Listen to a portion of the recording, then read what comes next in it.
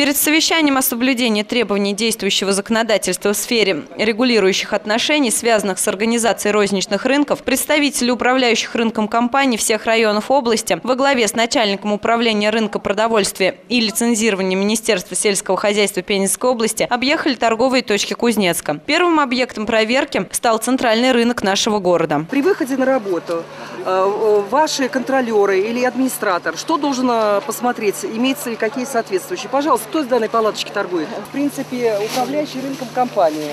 Правильно я говорю, Так, да? значит, Да, при пожалуйста. выходе на работу Да, Давайте, покажите. лично, лично я обхожу рынок ежедневно, проверяю бейджики у них, проверяю э, с- э. Если с промышленной группой товаров дела обстоят хорошо, то в продаже продовольствия были выявлены различные нарушения. Это вообще недопустимо.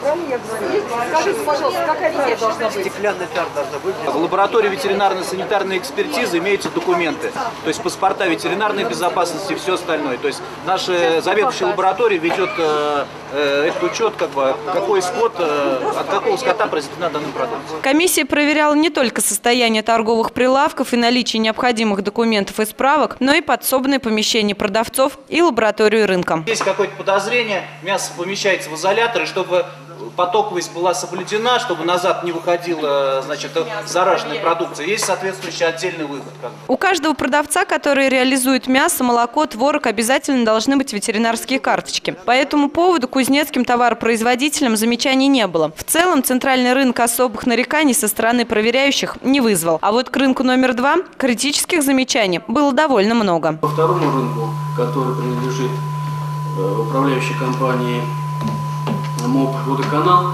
то есть большие замечания в плане проведения, своевременности проведения косметического ремонта. Вы мы увидели, что стены почернели. Здесь э, возникает вопрос и о эффективности вентиляционных систем. Есть они или нет. В плане защиты прав потребителей нарушений мы, мы с вами увидели нарушения и по э, составлению э, ценников, по заполнению ценников и наличие ярлыков этикеток. Касается это и по колхозный рынок, и э, МУП «Водоканал» управляющей компании. Уже на совещании Нина Богач особо отметила неконтролируемый рост цен главным образом на продукты питания первой необходимости. Во-первых, вы должны привлечь на свои рынки товаропроизводителей. Вы их можете привлечь только тогда, когда вы, э, может быть, снизите для них какие-то приоритеты сделаете. И обратила внимание управляющих рынком компаний на частые нарушения договорных отношений между закупщиками и поставщиками. Очень большие административные ответственности сейчас по 381 закону тоже в части нарушения договорных отношений э, хозяйствующих субъектов, которые поставляют товары, то есть производители, и которые принимают товары, то есть наши торговли. Штрафные санкции очень большие.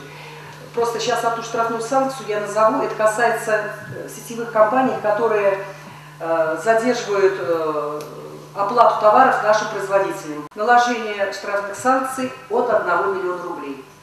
Значит, вторичное, если это нарушение, то вторичный штраф 5 миллионов рублей. Штрафные санкции очень большие.